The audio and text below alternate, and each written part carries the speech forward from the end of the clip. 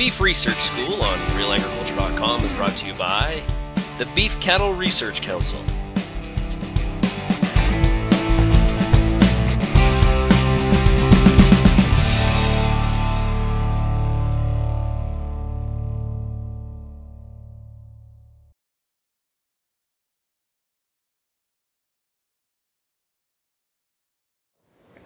Um, over the course of the winter, nutrient requirements for cattle change um, primarily for two reasons. First of all, because they're moving from animals that are dry and in the early months of pregnancy to animals um, that are supporting a, a, growing calf, and then finally to an animal that's calving and trying to produce milk for that calf. So as they move from mid um, gestation or mid pregnancy to late pregnancy and then into um,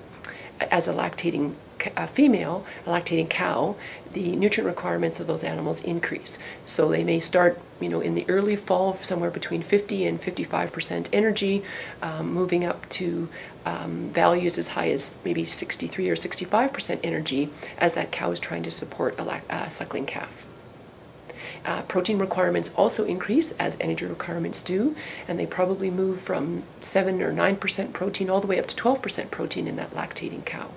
And so therefore it's important to ensure um, that the nutrient requirements of animals are met to meet their changing physiological status, but also um, it's important to keep in mind that the temperature is getting dramatically colder in the Western Canadian production environment as we move from November um, into January and February, which can often be very cold months. And so we have to ensure that the maintenance requirements of those animals are met um, by increasing the quality of the feed provided.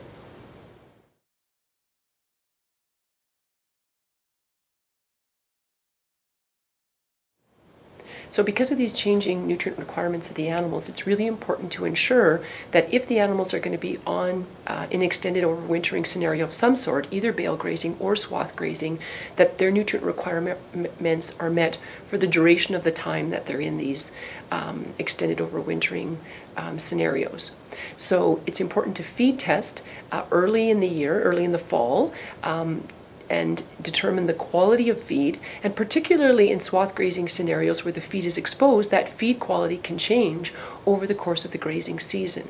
And if animals are going to be in the bale grazing scenario in spring, it's really important to ensure that you bale test again maybe in March, um, or feed test again, sorry, in March, just to ensure that forage quality is still meeting animal requirements. If not, um, it's important to either provide supplemental feed or to use combinations of bales in a bale grazing scenario. For example, it may be necessary to provide, you know, on a daily basis, three bales of a high quality feed and one bale of a lower quality feed.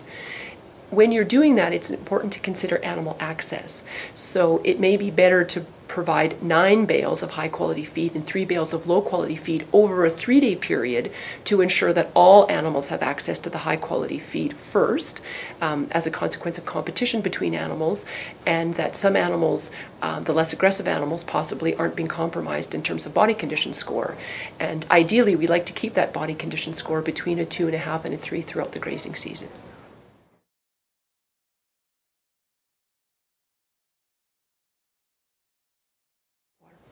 Um, so just as you're paying attention to the requirements of the animal in terms of the forage or any supplemental feed that you may need to provide, it's also really important to ensure that animals have adequate, um, adequate water